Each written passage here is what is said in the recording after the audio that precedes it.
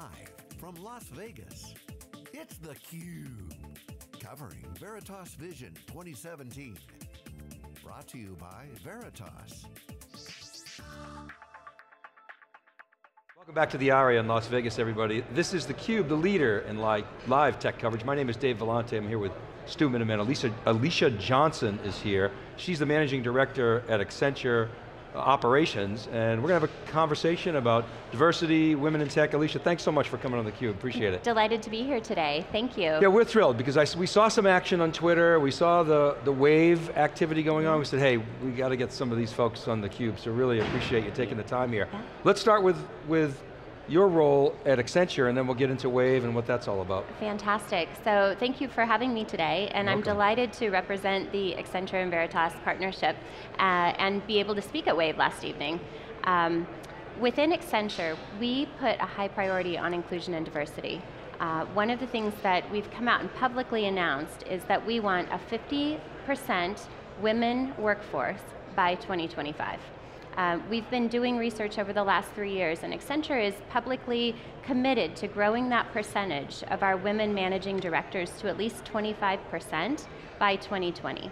So we really focus on attain, retaining, attaining, and advancing women and sponsoring them in that pursuit for gender, ba gender balance. So that's a Yeah. kind of a, that's an amazing statistic. I mean, I think the average in the tech industry is 17%, is that about yeah, right? about that, yeah. A- and- um, and a lot of the fundraising these days actually goes to venture capital men-run firms. And so we're really interested in helping uh, set that gender parity as well, so that more VC money goes out toward women and women investments and women VC. Well, it's interesting. I mean, we've done some work in this area at Silicon Angle, and we've done, we've funded some fellowships Mm-hmm. to study this problem. And two of the places that were sort of egregious offenders, Silicon Valley and, and Cambridge, Massachusetts. So, uh-huh. um, but you know, you have to get it out there and talk about it, Yeah, right? But yeah. so, when you say 50% Mhm. by, by 2025, Yeah. that's sort of a, a, a goal? Is that a, is that a strict, you know, people would use the term quota? Let's have that discussion. What does yeah, that all mean? Um, it's, it's a commitment that we're making. And one of the ways that within Accenture we really feel um, that we can hold to that commitment is making some changes internally and also being very transparent. So we have set that uh, transparency goal across not only sponsoring women and P&L goals, but coming, coming forward and making that commitment to transparency by publicly making the announcement.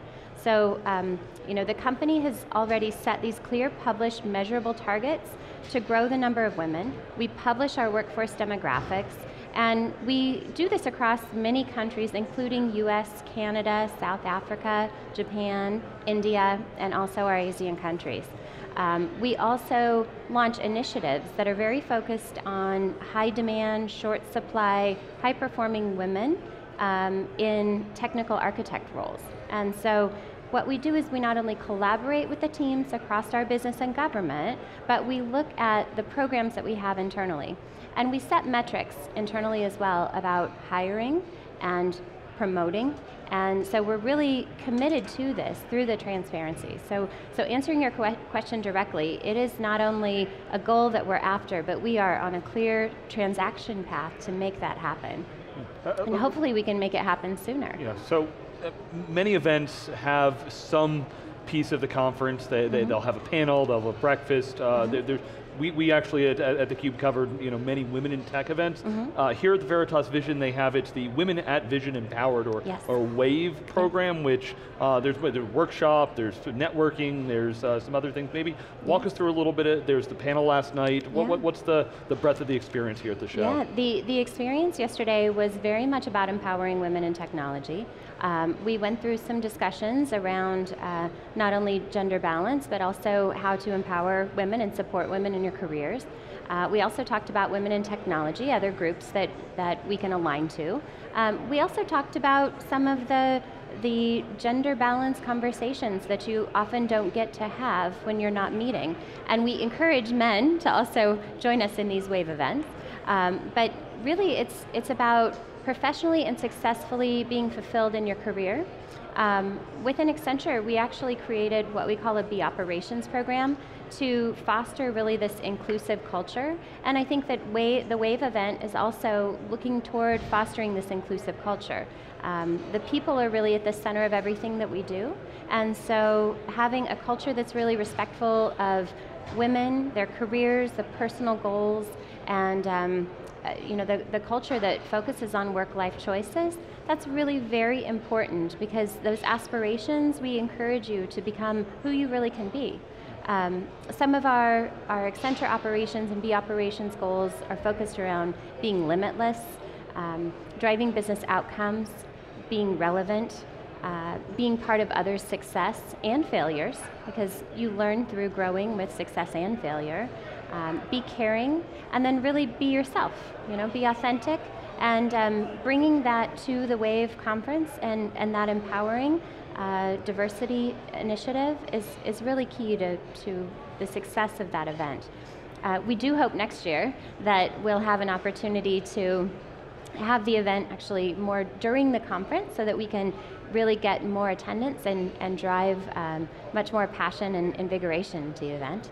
Um, but we really believe that the opportunity above all is to get the initiative out there, start talking about it, and really make a difference. So let's have a conversation about the why. Yeah. We can all agree it's the right thing to do, mm -hmm. um, but let's have a business case, you know, mm -hmm. conversation. What's the what's the business benefit of, of, of inclusion? Yeah, well, obviously we all come from different backgrounds and different walks of life, and bringing those experiences to the business um, it's been proven time and again with all of the, fast, the factors that you can look at uh, that women make different choices and women can be different types of role models.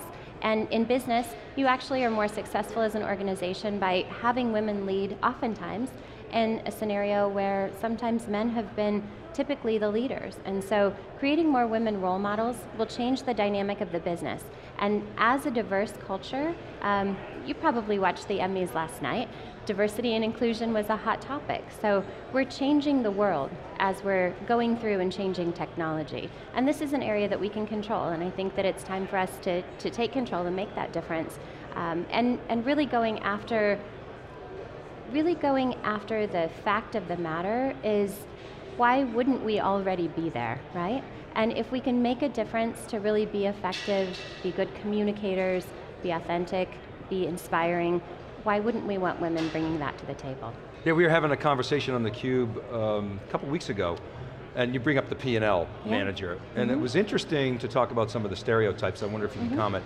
Sure. Um, as a woman, um, you know, P&L managers tend to be, you know, leaders. On, and somebody did an analysis of performance reviews, mm -hmm. and the, the, the adjectives for the male leaders tended to be assertive, mm -hmm. you know, great leader, and, and the adjectives for the female leaders tended to be things like abrasive, mm -hmm, mm -hmm. okay, and, and, but both, you know, high performing individuals. Mm -hmm. As a woman, I mean, you, I'm sure you've experienced that in, in your career and your yes. colleagues have as well. I wonder if you could comment on that. Are things changing and where do you want to see it all go? Sure, that, uh, it's a really great topic. Um, and yes, I mean, in the work world you often see uh, if a woman is assertive, um, she's referred to in a, in a negative tone, and oftentimes you'll find women, the, the higher powered they are in organizations, they're not looked upon as being friendly individuals. And I think that that's a cultural dynamic that um, goes back to probably maternal instinct, that you know, you're, you're trained to think, oh, well, we, we don't see empowered women as wildly successful. And that's something that we need to change as a culture. Um, you mentioned you have a daughter. So seeing your daughter in an empowered position is going to be something that you want as a father. Um, and then being able to proactively build upon why it, why we look at males in a position of power as, as being someone who is assertive, but if the woman, woman says the same thing, she's maybe looked at in a negative connotation. Um, you know, these are the questions we need to start asking, right? And, and is there a reason for that? There shouldn't be a reason for that equally intelligent, equally able to succeed, Um, and so assertive and, and powerful is, is that gender balance, and that's really what we should start questioning in business. And it will make us better uh, as large organizations, as individuals, in, and as fathers in going after you know, what we want our, our children and the rest of our society to achieve. Yeah, and you see, you certainly see some high-profile examples yeah. of women in leadership positions. Obviously, mm -hmm. Accenture, IBM, Hewlett Packard Enterprise, and some mm -hmm. others. But, mm -hmm. but you also see you know, on the, on the masthead, if you will, it's like, man, man, man, man, oh, head of HR, woman. And so a lot of the P&L managers, so it's, it's interesting, it's the first time I've heard specifically the P&L management. Why the P&L management? Why, why that emphasis? Maybe you could share with us. Well, um, within Accenture, you know, one of the things that, that we can do is actually measure the goals that um, that help us advance internally. And so we sponsored the company's most senior women to advance in P&L roles. We've been doing this for the last six years. Um, and approximately 80% of the women in our global executive leadership program have been promoted and significantly expanded their areas of responsibility. Um, and I think that you know we we looked at the goals we could take within Accenture and really made examples of those goals. Um, we also, you know, the, the commitment to transparency, which I talked about a, a bit ago, um, that's really setting and measuring publicly and, and holding ourselves accountable, right, to those goals and measurable targets that we can grow to. Um, we've published that, and we also challenge other organizations to come out and publish their workforce demographics. And, and I think before Accenture did that, you know, there wasn't a lot of companies that were maybe as eager to come out and publish that workplace demographic. And so we're looking to make a change. We really want to launch initiatives within our organization that we can control. And um, ensuring that we can collaborate and, and create that gender balance, gender balance in the workforce is key. Um, one other area that I, that I want to talk briefly about is within Accenture operations. So just in my realm of Accenture, uh, I did mention that we finished our fiscal year 2017 with 45.9% women, really setting the bar across Accenture.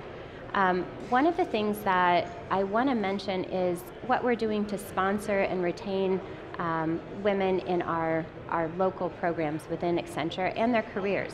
And we focus on staying true to passion, which I talked about with our B Operations Initiative, um, we also introduced a flexible work option, um, which is really focused on our teams in India. They allow the women to fit work and school around their nursery hours. And that's one of the other reasons that you find often women not staying in the workforce is because they make the choice between family and um, working and the working hours.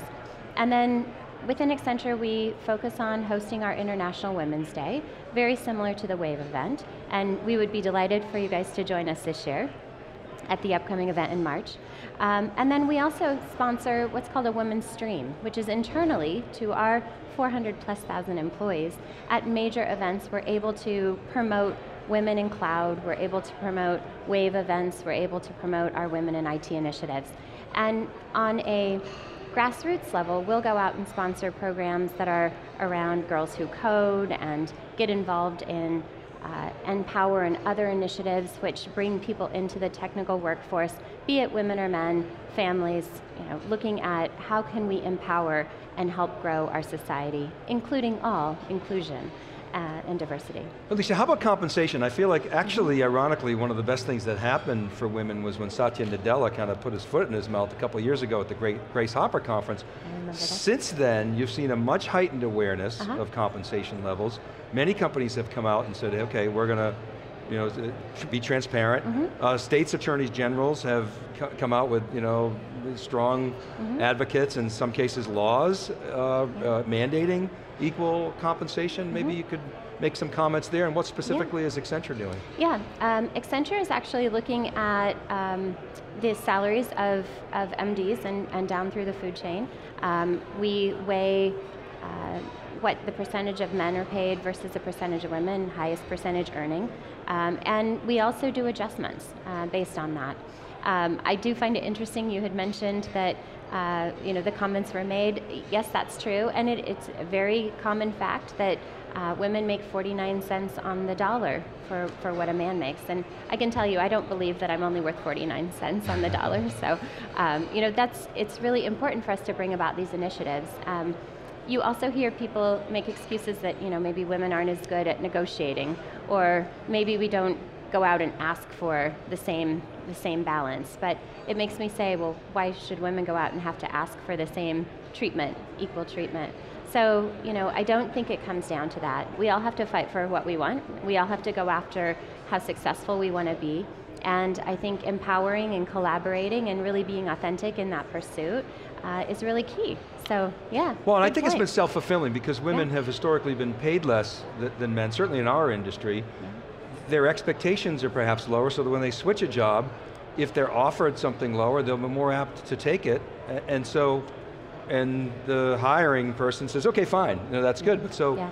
the only way out of it is if companies proactively Right. adjust. And you can't, understandably that can't happen overnight because there's economic overnight. realities, but, Uh-huh. but it can, and it is, feels like it's beginning to happen slowly, maybe not Yeah. as fast as you'd like. but- Yeah, um, and I would love to see women and girls getting more involved in tech. You know, um, I did. I watched a, a bit of a program last evening actually that um, referred to around in fourth grade. Uh, we start giving boys toys to work with, and we start giving girls, you know, dolls to play with and different things like that.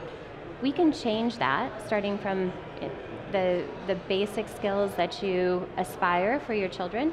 Um, you can start on parity. You can start with um, teaching others about technology. Um, women might always say it's not super sexy to be a technical architect, but I might disagree with my background as a CIO. Um, so, you know, I think it's really talking about the inclusion culture, getting more people interested in it from the beginning, and um, bringing more women with the opportunity to really fulfill that gender equality. And whether we promote them, you know, with, with an Accenture, you would ask me about the P&L piece, that's something we can control as Right. an organization. Um, so each organization, I would challenge to look at the ways that you can balance gender equality. Um, and within Veritas, obviously, there's a very strong WAVE program that's being driven, and um, Accenture's delighted to partner with and support. Um, and, and that's a commitment to being a champion for change. Well, congratulations on being a champion for change and all the progress you're making at Accenture. Very impressive story, so thanks for coming on theCUBE and sharing it. Thank you very it. much. I'm delighted to be here today, and, and thank you for allowing me the opportunity to speak with you, gentlemen. It's our pleasure. All right, keep it right there, everybody. Stu and I will be back with our next guest. It's theCUBE, we're live from Veritas Vision 2017. We'll be right back.